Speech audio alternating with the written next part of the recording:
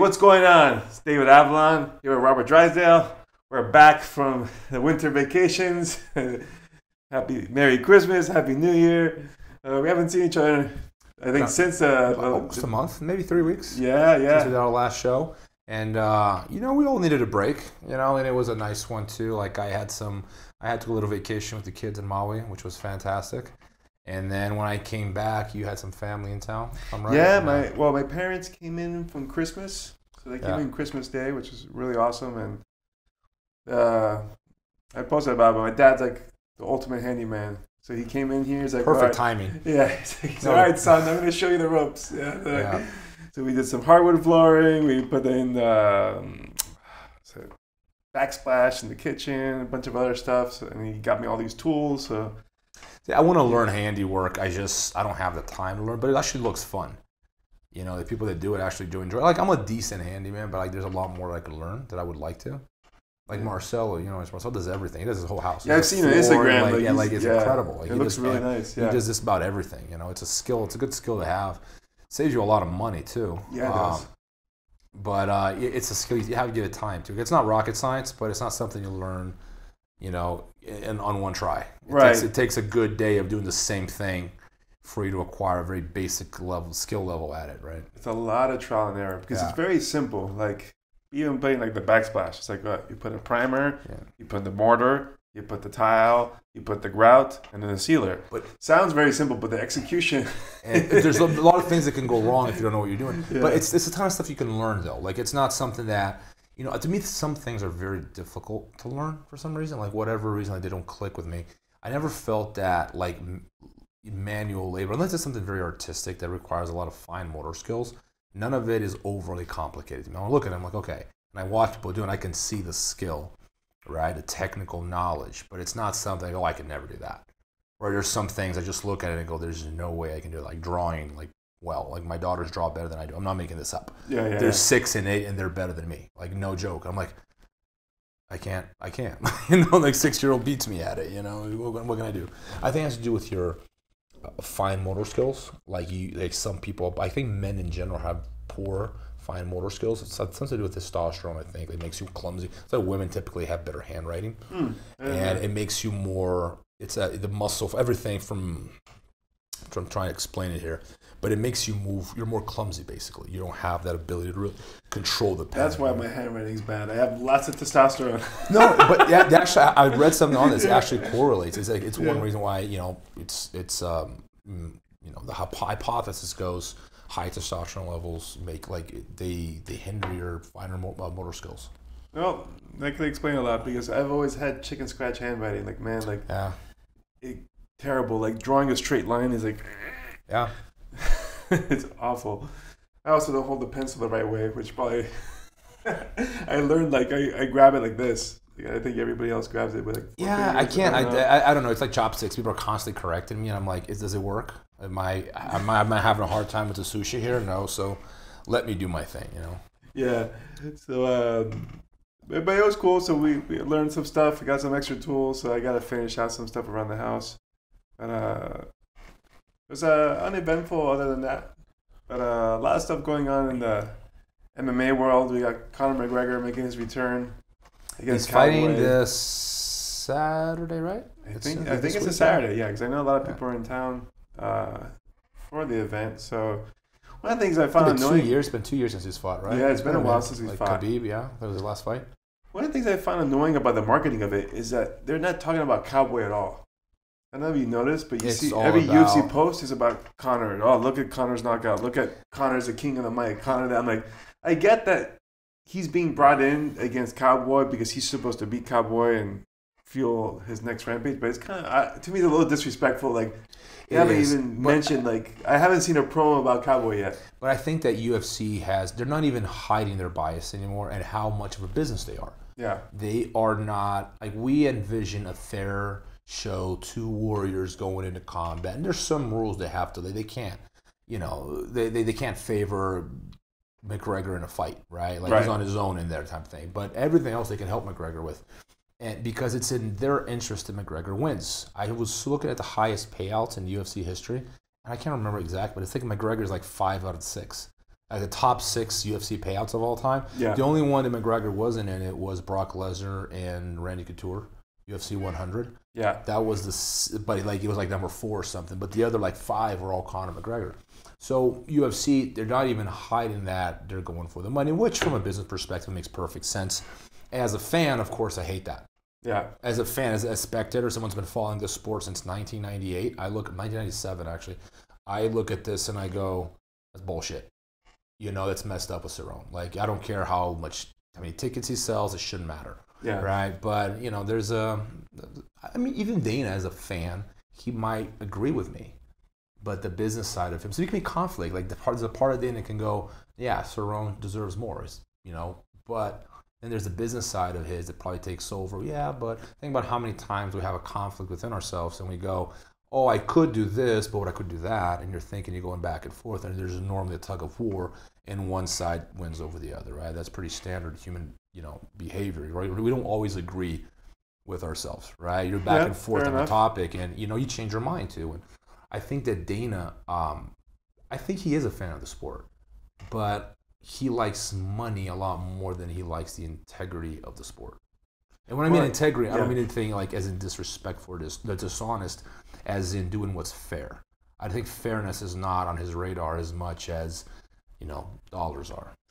Right. I mean, he is. Uh, is he still the CEO or the president or? I think he kept his position. I think he got a cut from the sale of the Yeah. UFC, but he, they kept him as with on a salary, I guess. Regardless, it is his responsibility to make the business as much money as possible. So he would be irresponsible to the business if Yeah. he wasn't doing what makes the most money. Yeah. It's just unfortunate that it's put in this circumstance where they're because like you're saying the UFC is is like a league more than it is like a business well it should be a league more than it is a business like you don't see NFL pushing one team over the other Yes, you know, like if they're gonna put like the Raiders versus you know the Buffalo Bills, they don't talk oh all Buffalo Bills and no coverage of the Raiders. I don't I don't watch football that much anymore, but I don't imagine it's like that. If I, I'll go to it. I, I try to make analogy with football teams all the time because people relate to it too much. And I'm always using the Raiders and the Patriots 'cause I can't remember another team. And I'm like, I know those two teams. And then I'm like, there's nothing. Like, give me another one. Give me another one. I'm like, ah. I know they're, and I know when, I, when someone tells me, oh, yeah, yeah, I know that team. But like, they're not fresh in my mind because I've never seen a football game in my life. But anyway, um, you never seen But- one in person live, uh, no, not even Oh, on wow. TV. not even on TV. Not even on TV. Oh wow, No, I don't even know the rules. I know you're supposed to get a touchdown. That's about it. I, I'm not making. I really don't. Like I, I can't watch it, man. Like it's too painful. I sit there and like five minutes in, I'm like, what is this, man? It's all commercials and stats and people talking. And there's like this much game going on. yeah. It's like a third of the times there's actually a game going on. The rest of the time there's nothing happening. it's pretty wild because it's like a three-hour event to watch one game, but it's a F that, man. forty-five or forty-eight minute, I think, Of 40 actual play. of actual Yeah. play. So it's pretty incredible how much filler there is. Yeah. you know, and Commercials, all that. Yeah, because I always found it the same way. Like soccer is even worse. I Even though agree. the soccer runs a long time, there's a lot of nothing going I on. I can't watch. I, I love playing soccer, but Yeah. I can't watch it. I probably like play football. It looks fun, but I don't like. I don't enjoy. I don't even. I'm not even crazy about watching fights to be honest. Unless it's a friend of mine fighting, I, Yeah. I'll skip it. I'm probably not going to watch. I'm not going to watch uh, Cerrone and uh, McGregor. Yeah. I'm probably going to be. You know, I'm coaching a fighter of ours actually. But uh, regarding the league thing you're talking about, I agree with you. Uh, the thing is, when you're in a in a fight format like the UFC, that's not a league. It gives the promoters, in this case Dana White, the power to create his own criteria in his head. Yeah. So whatever the criteria of the week is, you know, that's the criteria he's going to use, and it gives him the power to change, right? Whereas the NFL does not have that luxury. They can't pick and choose who's going to be in the final Exactly. Yeah. because they're going to make more money that way, right? I mean, I, I think they would love that if they could get away with that. Think about it. they probably would. if the rules were in place where it didn't matter, because the rules were created 100 years ago, whenever the hell the NFL was created. But like that right there was they set the rules, and now people are used to it, and no one would stand for it. But the UFC has always been they have a ranking system, but the ranking system is not the determining factor. It's No. a guide at best. it's a guide. but yeah. there's no there's nothing written in stone that prevents Dana from doing whatever the hell he wants. Yeah.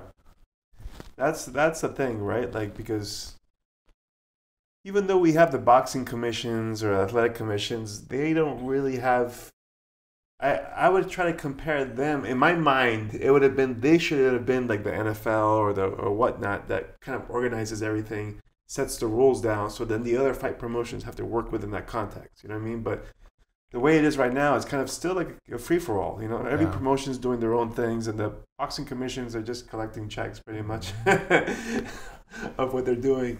I mean, I was in it, and you were probably in it from the beginning, but I remember from Florida, they used to charge exorbitant rates for promoters. Like it was like twenty five thousand dollars at one point. I, I could have that wrong, but I remember it was a crazy steep fee to promote an MMA event, and then the boxing was like a fraction of it. And this was because there was still that bias. They didn't want MMA to grow, Wow. right? So like all these small shows could never exist. Like they would come and go really fast because Yeah, you can't. you can't make money off of it. You know, and you weren't on TV or pay per view. You're just running a local show, and you're gonna pay like twenty five grand off the gate to the boxing commission. It's like That's just corruption at its finest, isn't it? yeah, Yeah, and then like over uh, time now, like I think they're probably making more money off MMA events than they are Yeah. boxing events, and they've sort of shifted that. It was that type of manipulation that was going on, but now they're really a passive entity, I think, for the most part, and the promotions are the ones that are calling all the shots, which I don't know. It creates this type of situation where there's more economic incentives to try to chase these money fights versus uh, having that integrity you're speaking of of like okay this guy's number two he should be the next guy, guy in line for a title shot or for a main event or something like that whereas now we can just make up titles like a bad, bad motherfucker What- title I, I still, I, I, what were they thinking? yeah You know, but like it, it is a free for all. It is kind of like the Wild West, and I, I, I think that's long term that's damaging.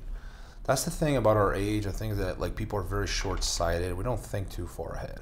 They're thinking about me, me, me. There's an excess of, you know, what can I get out of this situation right now without thinking of longevity of things. And perhaps the NFL has lasted for so long because they have that system that even the promoter, like the owner of the NFL, may hate, but it's a system that's probably going to last, you know, for as long as you know people enjoy watching football. The NFL will for- probably be there. Where I could see the UFC going down eventually and turning into something that is like they kind of lose the fans because they don't take them seriously anymore, right? Because they lost those criteria. I think that it's important to keep your base, and I think the UFC has lost credibility entirely with his, their base, right? I think the the fan who watches NFL and NASCAR is going to watch the UFC for as long as they, they have people like Conor that you know sells them charisma, regardless of skills, right? I'm not saying Conor isn't skilled, but if he weren't skilled, it wouldn't make a difference. Yeah. he'd still sell tickets. It's his it's because he's funny, his accent, he talks the talk, he's loud, whatever. People that's what's getting him to sell tickets, not his actual skills, yeah right? Um, and but with if you don't have those characters, what are you left with? You know, and your fans, your hardcore fans, are the ones that are going to watch the UFC no matter what. Conor McGregor did not, didn't have to. If he never opened his mouth again, and no one ever talked again, guys like me and you would still enjoy the UFC yeah because we enjoy the skill set. But I feel that UFC has lost that base because their lack of criteria, right? I mean, we, we watch it still, but we know they're biased, right? And I think that long term is damaging. I, I think so too. You know, because like I feel now like I'm seeing all these like Conor ads. It kind of puts me off from Conor McGregor now. Like I'm, like I've never had a bias against him. I thought he's a actually a pretty exceptional fighter. I think it's phenomenal. Yeah. Yeah. And um, but now it's like they're I'm being forced. Like oh, Yeah. like this. I'm like man, you're pushing too hard. You know, like let the the fight do the talking. you Yeah, know? it, it's too much, man. Like I, if I prefer if they never talked. I like the Japanese style things. You know, a lot of times I say this, like, oh, that means I'm not, I'm not saying I'm perfect. I think those are that's a better moral compass. That's all I'm saying for us to be respectful, right? Doesn't Yeah. make me perfect or you, but you can have a moral compass, right? That's my north. I know that what is right and what is wrong. This is what I prefer, right? And you know, but I understand why. You know, it's funny because like, people always love McGregor. Like almost all of them don't know anything about fighting. It's true. Like if Yeah. the, people that really, really into these type of people, like the, the, the loud mouths and like the trash talking, almost as a rule, they don't know shit about fighting. It's true. Like they're like, oh man, that guy Conor is such a badass. I'm like, and then I can tell the guy didn't know what he was talking about. Like Yeah, either yeah. The, the people that know fighting like don't make a big deal out of him because like he's good, but it's like a lot of good people in there. He's not exceptionally talented. He's good. He's I would definitely put him in the top ten in his weight class yeah. no doubt. But I wouldn't call him the best in the weight class in any weight class, really, or the top three, really. You know, but you know the the the the, the noise makes up for that, right?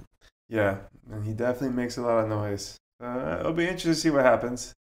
But we also have um, in the grappling world, Chael Sonnen's Submission Underground. They're doing a tag team format now. Yeah.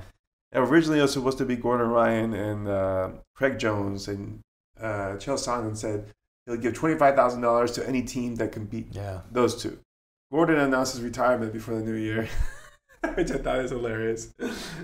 It's you know, the hilarious thing about that is that he called me out more times than I can count, and I'm like, I, I it's fair to say that I'm beat up. Like you're, you're beat up. Like it's you know what it does to your body, right? I'm 38. I got like this whole new life, and I get this 23 year old kid calling me out, who then retires at 24, right? And then decides, and other people call him out is like, leave me alone. I'm retired. I'm like.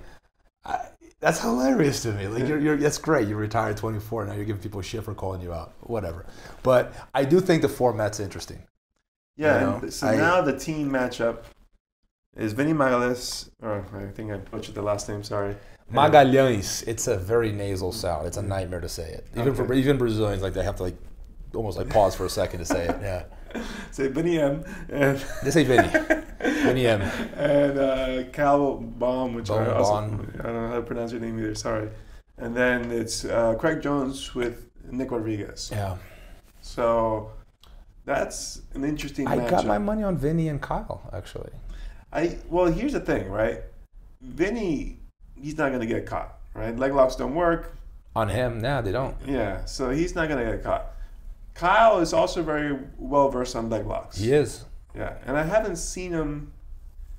Has he been caught in the submission? I know he's been beat by points and stuff like that a lot. He's tough to tap. He fought Felipe at the, the Yeah. quintet, and Felipe blew both his feet. Like he didn't tap. I don't either because it's crazy tough or because he got very flexible. He was like limping out of the, the arena. Like you Yeah. could see that he was hurt. And Felipe's got vicious straight foot lock, like the best I've ever seen. So you know he's. I, I don't I don't think I've ever seen him get caught. I haven't seen him fight that much. Yeah. I know he had like a rough one with uh, Tim Spriggs, but like I, I haven't Yeah, seen even him. there, like no submission. Yeah, he, like he got roughhoused a bit, he- but he wasn't submitted. So like in this tag team format, they haven't really laid out all the rules yet as far as how I it's going to I, work. I was for the going to ask you that. I don't know how it's going to I'm imagining it's going to be a submission only type thing. Otherwise, it wouldn't make sense. I, I, you know, so if that's the case, yeah, I, I would see. I could see Nick getting tapped. You know, Yeah, although not easily, but I don't. I, I, I. You know. I hate. You can't, you can't even. I feel like we're living in a time where even speaking your mind, or sometimes the truth, and sometimes just giving people facts, you get called a hater, yeah, right? And I'd rather speak my mind, but, like, then I mean, people gonna think this hate. I, I think Nick is overrated in a lot of ways in terms of jiu-jitsu. I think his wrestling is very dominant, but even his ADCC performance, everyone's blown away, and he really won with. He beat heavyweights with wrestling yeah, and that was it, you know. And then he had like a controversial match with Cyborg. I'm not talking about the shenanigans after the fight or anything like, but it was a very close fight. It wasn't. He didn't really put Cyborg in danger any time. So there's no like a, a outstanding display of jiu-jitsu or of Yeah. like submission skills. Is what I'm saying. Like Craig displays that. I've seen Kyle is very skilled. Vinny, like unquestionably most successful guy in the whole thing. But you know, for me to, I I, I don't I don't I, other than his wrestling, which is good.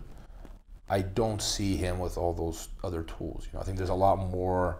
I think that it's it kind of got blown a little out of proportion. Oh, he's a blue belt. Like Mark Kerr was a white belt and he won the whole thing. yeah, People forget that. I'm like, that's not unusual in ADCC for a wrestler to walk in there and do really well in the heavyweight division. Yeah.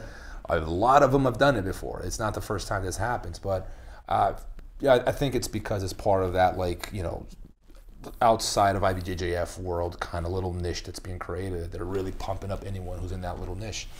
But um, you know, I don't think that he's on par in terms of jujitsu, and I'm not trying to you Yeah. know, attack anyone, but is at, compared to Vinny, Kyle, and Craig, who to me are in terms of jujitsu a lot more skilled. for sure. You know, uh, there is to his credit though. At the trials, I think he submitted like four people in there. Rear naked, heel leg lock. He's, he's So he yes. does have submissions. Let's Yes. not say, but uh, again, in the heavyweight division, when he is facing world class competition, it's a different level, It's a right? different level. But those guys, like, um, or at least Craig and Vinny, have shown they can tap out just about Yeah. anybody if you let Yeah. them. You know, uh, Kyle wasn't in ADCC, so he hasn't faced, I think, that level at least. In well, actually, no, he he I won. think the, he's there. He's there. he won. He won the BJJ Fanatics Invitational, and he beat uh, what's his name? I've seen him beat Kaynan. I've Ka- seen Kaynan, him beat yeah. Lucas Barbosa. Granted, there was Yes. like, you know, there were not the rule set where those guys are normally. You know, it was, Yeah. you know, But, but, still, you but it's beat- just, there's huge wins, Yeah. no doubt. I think he's definitely ADCC caliber. Yeah. I don't think anyone can question that. Um, I don't see.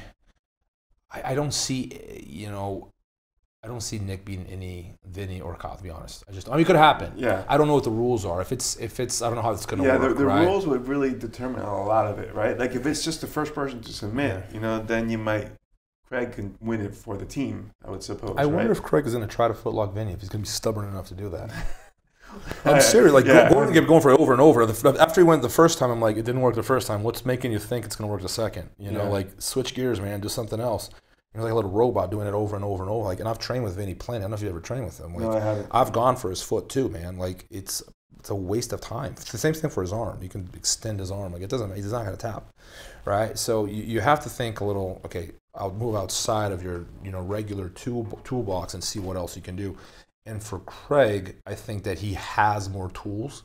You know, I just that the question is, is he going to use them? Yeah. And can he get there? Because they're probably not his A game, right? It's going to have to play his B game, so to speak uh, against a guy like Vinny because Vinny will literally give you the foot and let you waste energy trying to footlock him. I Yeah. wish I had those ankles.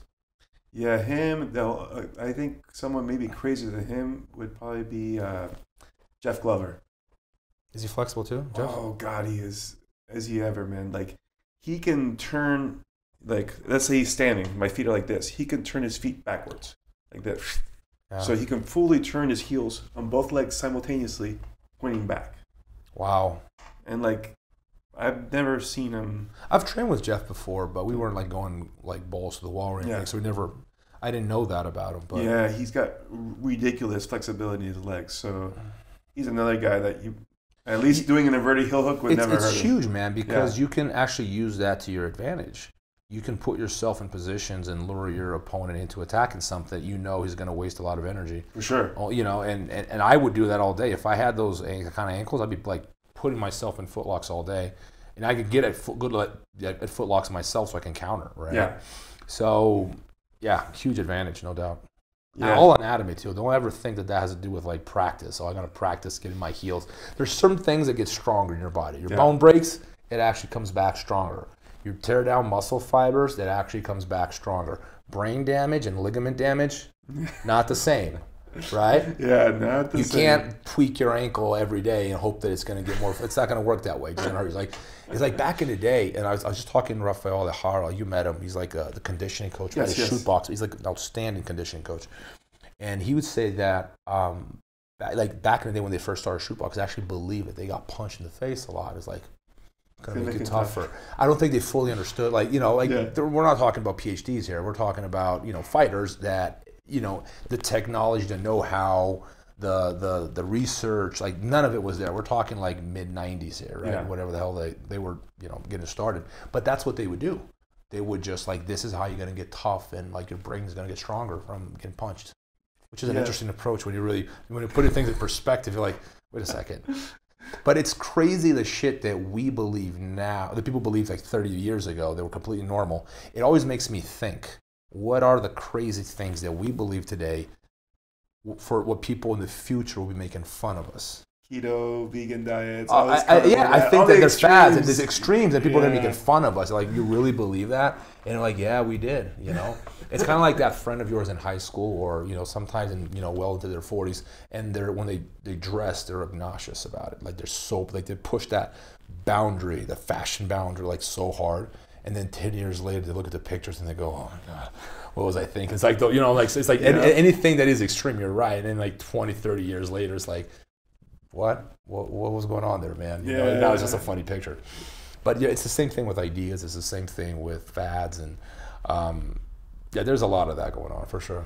Yeah, you know, we tend to think that we're so much smarter than we were in the past. We're just Ah. making new foolish mistakes that People don't change. people in the future are We're the same look like. species now we were 30,000 years ago, man. Like, there's not been any change.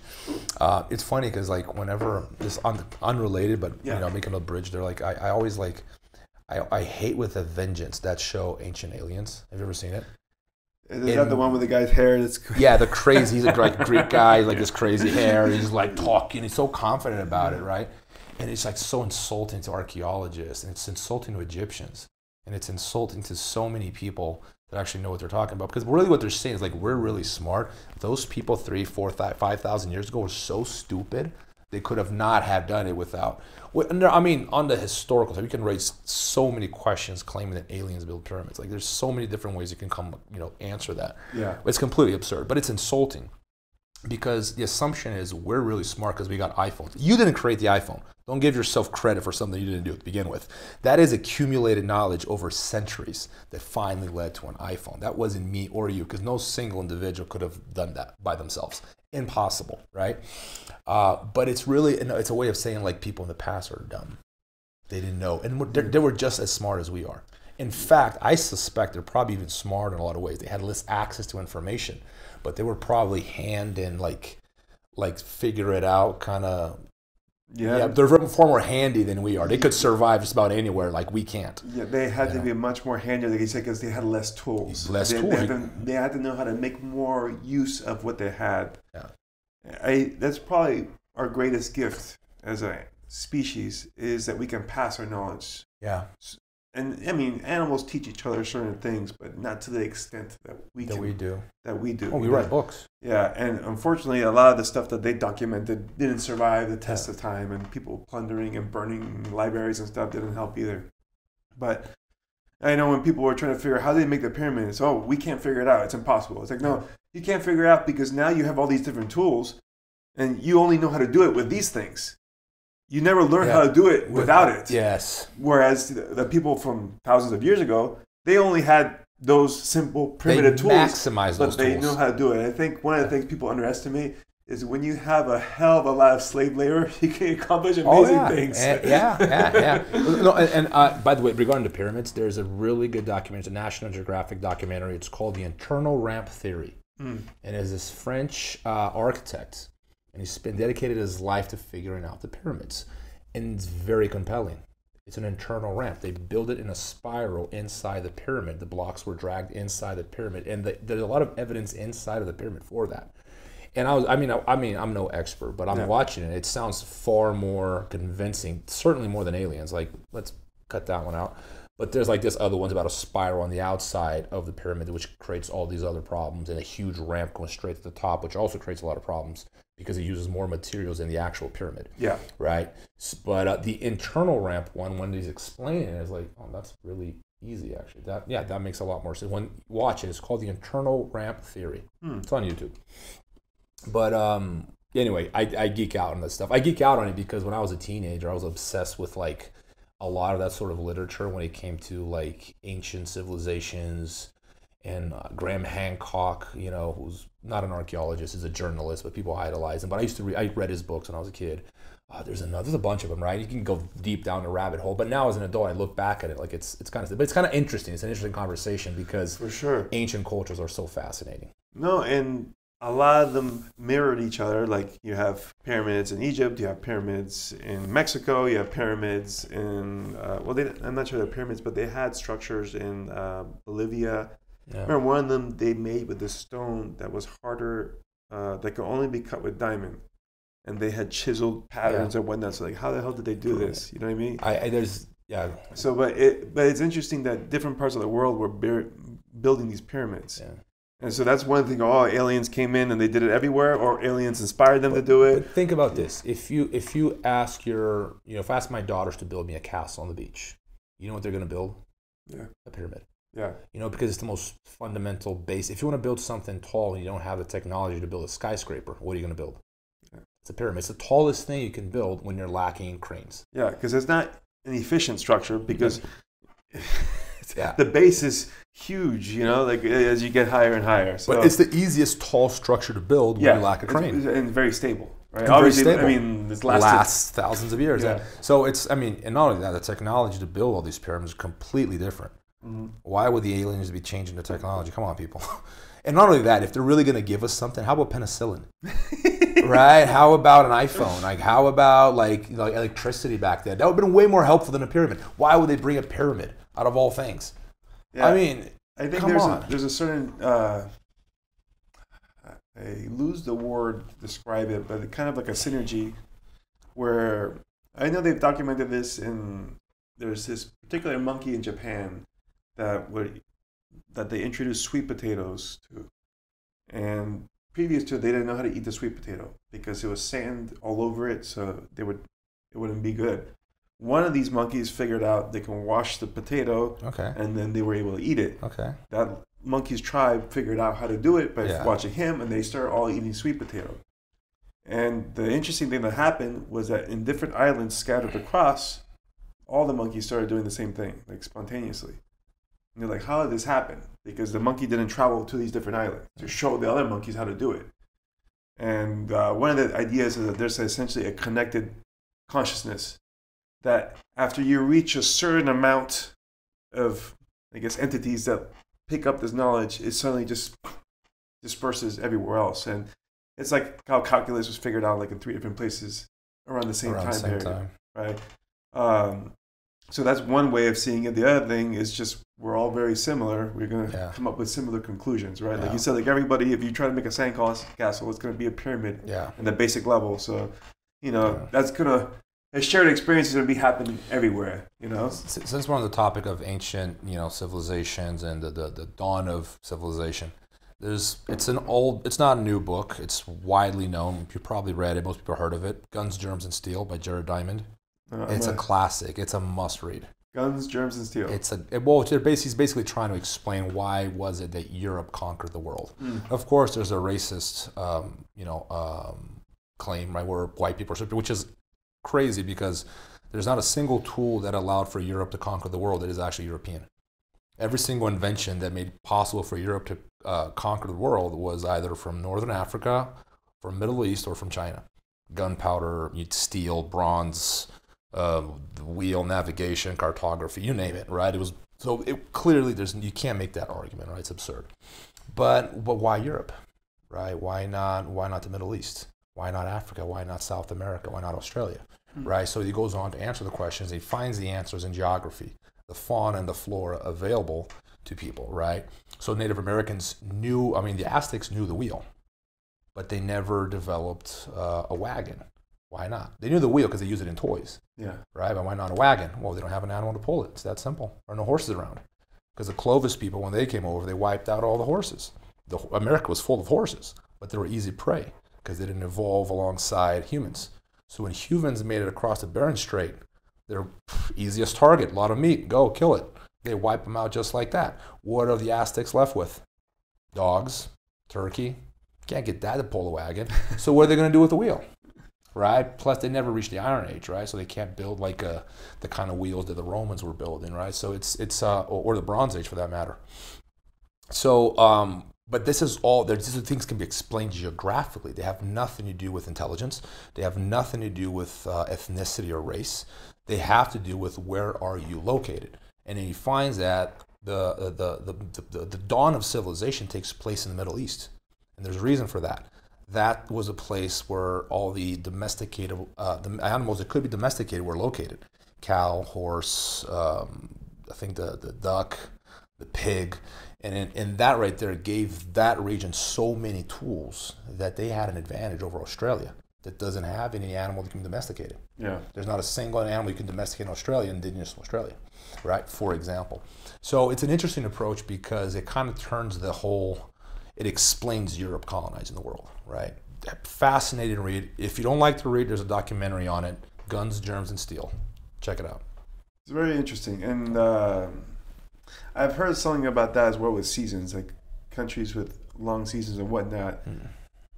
They had disadvantages. Like, uh, well, one of them I think I've read was in Malcolm Gladwell's book. Uh, damn it. Not the. Um, I got one. I never read it. I have it. Out- outliers, outliers. So like he was talking. is that, that the one that he like? That's the one that blew him up, though, right? Like that's the yeah, one. that's the one that made him. Yeah, I think that was his first like big one. Because Well, someone yeah, gave it to me as a, as a gift. I never read it. Well, he describes in Asian cultures, like in China particularly, uh, and one of the things they're famous for for the work ethic, like how they, they work so hard. yeah. And one of the reasons is that uh, that he had postulated was that the rice growing isn't seasonal; it's year round. You can always plant rice and they can always Interesting. uh, manage it, or at least has a much longer season than Yeah. like European seasons where winter you're not doing anything. You know what I mean? You're just sitting there and hoping you have enough reserves to last you the winter. Whereas I, I believe, from my understanding, in, for rice you can plant it year round, Yeah.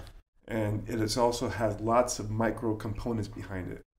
Like you have to manage the basin. Essentially, it's like a, a giant pot, if you will. If it's not perfectly level, it's going to affect the yield. So every day it has to be managed. The water level has to be managed every day.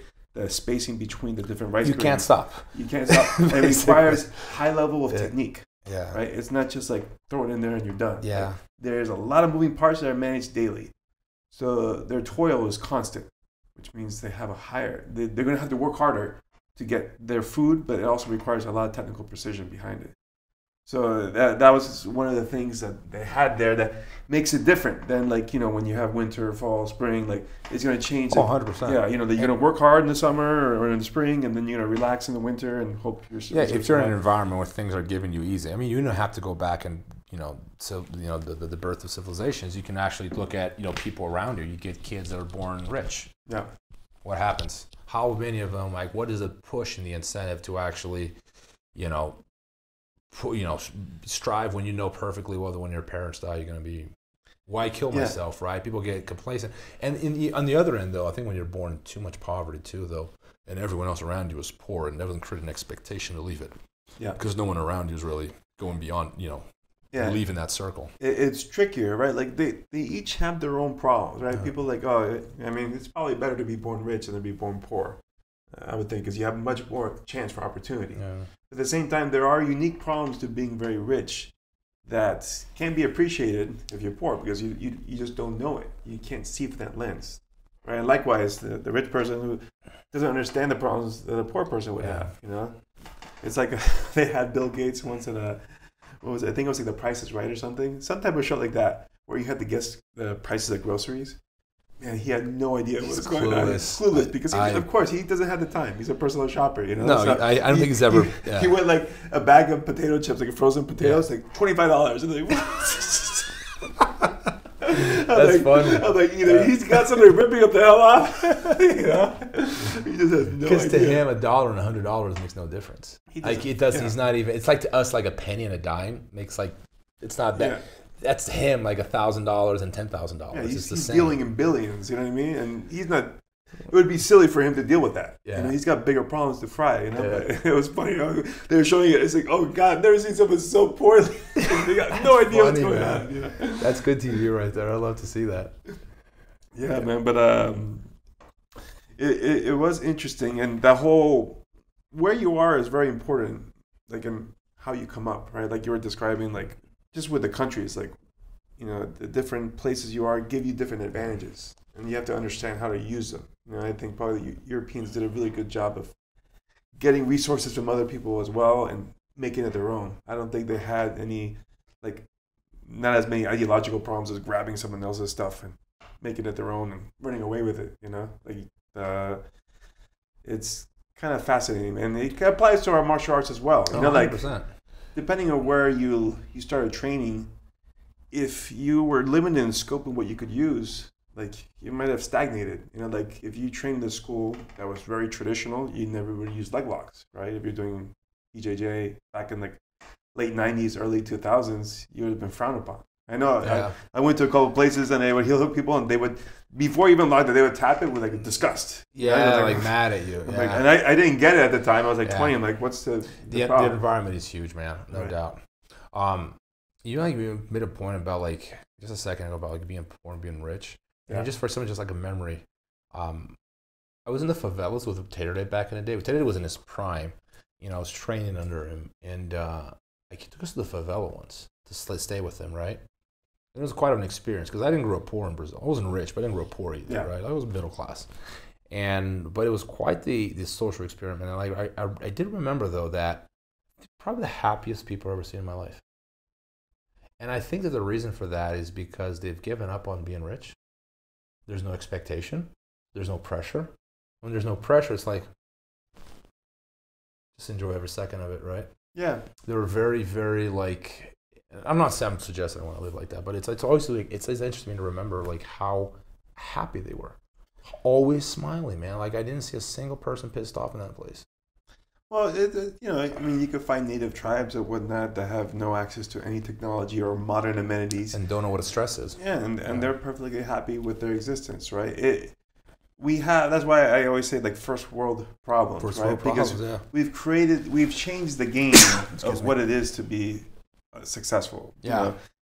From an animal point of view, successful is Surviving. surviving and Having babies, procreating. you know, yeah. that would be the ultimate success. You know, Correct. you're able to spread your your genetic material you want, right? Whereas now, like that's not enough for some people. You know, now it's like, well, we have to spread knowledge, or we have to you know, accumulate wealth, or whatever the, your gain that you've made. But it's you can. That's when people say they get stuck in that rat race because they think this is what it is. Like, no, you can detach yourself a little bit. Like, yeah. I always tell people like you can strip me of everything I've ever had and then throw me somewhere else and I'll find a way to make it work. You know, like And, and it's crazy how much time and energy we go into pursuing things we know perfectly well are not going to make our lives better and are not going to make us happier. Right? Like it's Yeah. crazy because we are in a rat race and like we're all trying, gotta get rich, gotta get rich. And I, I'm in it too. You are, everyone is, you know. But then you put things in perspective and like, you know, I know a lot of rich people, like very wealthy people. Yeah. They're not necessarily. I mean, they they all they got the we got problems too, man. they got their own It's- uh, yeah, unique it's not. problems. It, yeah. It's very unique problem, and I'm looking at them like I don't envy your life, Mm. you know. But then you look at their house, and oh, it's a nice house, you know. Maybe I want that. and then like, what I have to do all that to be there? Do I really? It's my point is, it's um, you know, I can't remember where I saw this, and I did mention this the other day. I hope it wasn't on this podcast, but I was having this conversation with someone. I don't remember what it was, but there's research that shows that people valued their social rank based off of not what they actually had, but how that related to their neighbors. Mm. So, for example, let's say you make a hundred grand a year, right? Which is pretty good money, right? All your neighbors make four hundred a year. You're pissed off, right? but let's say you make eighty a year, but all your neighbors make twenty. You're actually happier yeah. because people were basing their how well they did in life not on what they actually had, but on how well they were doing in relation to their neighbors. And what poor people, no matter how bad your financial situation is, you got to acknowledge that you live better than kings did 500 years ago. Kings did not have the luxury that poor people have today in the United States. True. Yeah. They eating. They had more options for food. You probably didn't freeze. You don't probably. You're probably not as cold as unless you're living on sleeping on the streets. Yeah. Like a castle looks like a really cold place to me. I don't care how many fires you got going on. Yeah. You know, like you probably have more longevity, probably living longer. Your children are probably surviving. You know, your your, your wife is more likely to survive childbirth. So it is a better time to live, no matter how poor you are. But the great question of the age is: Are we happier? Yeah. And that's uh I think one of the keys to that is to focus on inside. Right? Not because everything around you can be taken away from you at a moment's notice, you know. But as long as you're fulfilled from within, you'll always find a way to be Yeah. happy. You know, like I think that's something that you were saying. Those people in the favela, they were happy because they've learned to be happy with Yeah. themselves, and you know, It's internal, Yeah, it's- right? it's internal. It's, It's- happiness comes from within, Yeah. and then it projects outside. But if you're looking outside to hope to fix it inside, it doesn't. it doesn't work, No. man. And I've met some really unhappy people in my life, and they were really like looking for happiness in things like vacations, new car. Mm-hmm. You know, I got to look better. Um, you know, it's always like if I win that jiu-jitsu title, it's gonna make me. You know, and it's really at the end of the day, you have to live inside of yourself all day. When you look, and you, no matter how much you interact with other people, you spend a lot more time with who? Yeah. With yourself. No one keeps you more company than yourself, right? Yeah. When you look inside, you look at that picture. You got to look at that picture every day. What is inside? And if you're not proud of that, and you're not happy with that, there's no way you're going to be happy. You have to be able to look inside and go, all right, I'm not perfect. You don't want to be delusional and think you're, you know, no one is. You got to, we all got stuff to fix, but you want to be able to look inside and go, not too bad. Yeah, I'm actually pretty, I'm okay with who I am. You know, I like Yeah. my, you know, I know what I know and I don't know, but I, you know, I, I'm proud of the fact that, you know, of, of the person I am, right? And if you have that, I think it's easier to get by no matter what you actually have in, in the material world, right? For sure. Yeah, But, you know, uh, like you don't need to have uh, all these possessions, these wealth, the fame. All that's fleeting. That means nothing. Like in a million years, all that's going to be wiped out. Not going to matter. You know, people are striving to make their mark so they could be remembered through history. Like don't be foolish. At some point, care. the planet might be wiped out, and we all exist, and there will be no record that humans even exist in the universe. Yeah. Period. Right. So like, Yeah. don't worry about. I think that. the pyramids would survive. I think one of the few things that would survive. Computers wouldn't. Your Google Drive cloud certainly wouldn't survive. Uh, it's the pyramids that would survive. Yeah, so you have to be happy with yourself. And I think the best way to test that, put yourself in a room by yourself for a long time. And if you don't drive yourself nuts, you're doing okay. right? Yeah. You can be content by yourself. Like, uh, have you ever done those isolation tanks? The float Flotation tanks, I've done it once. Yeah. A hint: If you ever do one of those, do not let the water get into your eyes. It ruins. I'm serious. It's It, it ruins the whole trip Yeah. because it, your eyes are so like it, oh, so it, uh, it just stings right, Yeah. and you got to stop and go outside. and It's it ruins the whole trip. You're saying keep your face dry Yeah. Yeah. because mine was ruined because of that. Oh, it's very high saline water. Yeah. It's super salty because you can you're literally floating on salt pretty much. It's like being like I guess in Salt Lake or whatever. Yeah. But yeah, like it, it is an interesting experience because you're in there by yourself for like an hour and after a while you're like you're just floating in your thoughts, you know? Yeah. And if you have like toxic thoughts or ideas, they're gonna come out and they'll, it's a mirror into who you are. Yeah. Like, and that's why I like spending time by myself. I think it was Joe Rogan who was saying one of his stand-up comedies. I, and I love Joe Rogan's stand-up. I think he's brilliant because he's not just trying to be fun. He's constantly making good points. And I think that's the perfect com. That's the good comedy is got to be intelligent. Insightful, yeah. Exa- exactly. And he's talking about like the, the worst thing you can do. People don't like that much to be alone. And I think what he was me meant by that is like we need alone time. We all enjoy that, but like we do like people as well because Yep. the worst thing you can do to a criminal is leave them alone yeah. Put him in solitary confinement. That's the worst thing you can do to a criminal. Like, and that's true. Like, fuck, man. But I do enjoy my alone time. You know, even though I am a people person, but I do enjoy my alone time, and that's why like I get travel a lot for seminars and stuff like that. People like, Rob, don't you get tired? I'm like, yeah, waiting in line sucks. People, you know, losing your luggage sucks. And getting your having your flights canceled sucks and all that. But one thing I love about travel is that I'm alone for from four or five hours on a flight chances are you're not talking to anyone, right? Unless the person next to you starts talking, whatever. Sometimes you meet interesting people on flights, but Mhm. for the most part, you're quiet. And I do enjoy that because it is a way of like talking to myself. For You sure. know, you look inside and then you, you know, and it's a way of challenging yourself, like challenging your own beliefs and your own, you know, and you try to solve your problems. And I, I love that exercise, man. Like I really enjoy it. I like my alone time because I like to look inside. Because I want to see what's, you know, what what is, what is it I think about this? What's my opinion on this? And I'll be thinking for like an hour about what my opinion is on a given topic, anything. Right. I think that's very important exercise. Yeah, you know, I I spend a lot of alone time with myself. More than like when I was in West Virginia, I was alone for like two years, pretty much. Yeah. The only person I saw was my girlfriend, like, like and that was it. So, I mean, to me, that's I always tell my brother, I'd rather be in solitaire. Yeah, I, I, I, I, know people. I don't want to get yeah. anally raped or shamed. That's true. I think I'd rather be alone. I can deal with being alone, you know. Uh, but yeah, if you can't do those type of things, like, or you have to constantly be stimulated by external stimuli, like. I, I, we've talked about this before, and you, I think you and Frank also said the same thing. You don't listen to music in the car. I, I always drive silent. You know, when I'm at home working on the computer, there's no music or anything. It's just silent. Yeah. And I just think, and uh, that's very helpful. It keeps you in touch with yourself, and it keeps you honest. You know, because if, if you don't hear yourself, you don't talk to yourself. You know, people think, "Oh, that's you're crazy." Like, no, like you gotta actually talk to yourself because you might actually think things, or you might find out things about yourself that you're deep-seated, subconscious stuff that you never got out of you. You know what I mean? Like if you ever do like deep meditations or whatnot, Yeah. you, you pull out stuff from your. There's a lot more that- in there than you didn't? That's on the, the surface, right? Yeah. Because we typically see the surface, but Yeah. it's interesting to to go way down in there, and you know see what else is out and what else you can, um, you know, what other aspects of your personality or. You know, just learn more about yourself. Like know thyself, right? Yeah. It's a pretty old saying. Like, I think it's valid and it's always going to be. And I think ultimately is you know, and I think just to finish off because like I, I got to go, but like life is a journey about self discovery about Hundred percent. all. Like you get to the end of your life, and I'm I'm thinking that I'm gonna be my deathbed sometime, you know, hope like sometime in my seventies. I don't know if I'll make it that far, but and it's gonna be like, oh wow, I think I know myself now. You know, it's crazy, but you spend your whole life just to get to know who you are, Yeah. right?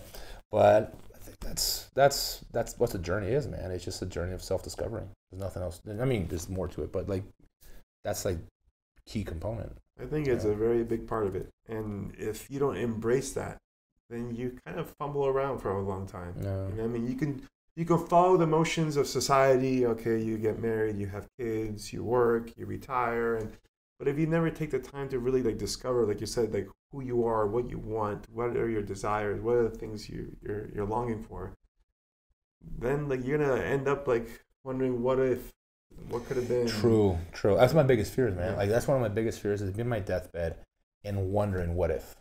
Like I don't want that, man. Yeah. I want to be able to say like I everything I wanted to do, I did. I've been to every country I wanted to visit. I tried all the foods I wanted to try, and like all the things that I, to me were interesting. I had like, I I you know, dove into it a little bit, and I go, okay, this is I have, I I know a little bit about it or I experienced it a little bit. To me, that's important. Absolutely. All right, Dave, this is a pleasure. I got class in about 20 minutes. I got to go grab my gi. Um, this is a, it's a pleasure to be back. We haven't filmed in a while, so it's Yeah. good to be back, and uh, I hope you guys enjoyed. We didn't talk a whole bunch about jujitsu today. No, although we no. talked about aliens and pyramids and you know life philosophy and everything, but I think it all comes back to jujitsu in a lot of ways, man. Like I, I, I can talk about just about anything and find a way to use a lesson in jujitsu on you know on that topic to do that you know to help me in that topic. Like I, I, I draw so much experience from fighting, Yeah. you know, and it's taught me so much that I really call. I mean, I'm I know it sounds like crazy, but like it's not. It's it's like religion. That's how I look at jujitsu and fighting. It, it is what it is my what gives me a, a sense of morals and you know right and wrong. Is like I got that through fighting because those ingredients are all there. You just got to pay attention. For sure. You know, like just try to be a better version of yourself, and that's those lessons are on the mats. That's the value of the martial arts Yeah, for most people because most people will never get into a physical altercation that requires them to do it. Like at least in a life-threatening situation. You might get in school fights, but that's BS. But like a real self-defense scenario that you have to save your life, I haven't encountered one yet. Yeah. I got into school fights, but nothing that I really needed to learn how to fight. Yeah, I mean? self So- defense doesn't. It's not the. It's not the ultimate motive. yeah, and you know, God willing, I, I, I never have to, right? Yeah. And but if that's all I got for the martial arts, then I wasted my time. But I've got. I agree. I got a lot. What, what a poor experience. Yeah, Yeah. it would have been like, oh, I wasted, I guess, twenty three years of my life. I'm not that scared of getting my ass kicked. You know, Yeah. like if it happens, it happens plenty of times when I was a kid. You know, so there are more important lessons to learn on the mats for sure. Awesome. All right, Dave. Thank you from very much. Thank you guys for listening, and uh, we'll see you guys again next time. Thank you. Ciao.